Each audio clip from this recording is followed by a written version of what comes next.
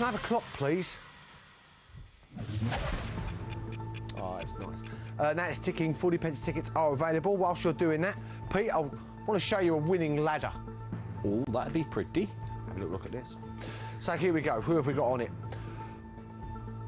Oh, sort it out, Soph, will ya? Built that up beautifully then. Honestly, our producer is useless. She really is useless.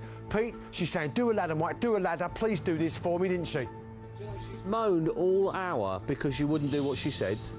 Oh, she wants me to do a map now. Well, maybe I don't want to do a map.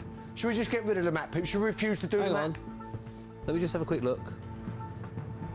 Nope, it's not a ladder. No, it's not a ladder. Get rid of the map. We're not, we're not going to do the map. Just remove it. That's it. Get, get rid. Should we try a ladder again? Want to try a wall? Let's see if we can do a wall. Let's, let's put that down there, like that. Move, move the clock down. That's it. Move, move, move the clock down. Move the clock down, love. Move, stupid woman. Right, that, that's. Uh, just get rid of the wall. I've had enough of that now. Get the clock's finished. Ruin that link. Totally ruined it, didn't she? Well, I think we should have to put her on the naughty step. Let's just get rid of her. Let's put her on the naughty step. Just should we just out her? Um, well, she does make a nice cup of tea. Does she? She made you tea. Yeah. Made me nothing. Honest, I don't know why I bother, to be honest with you.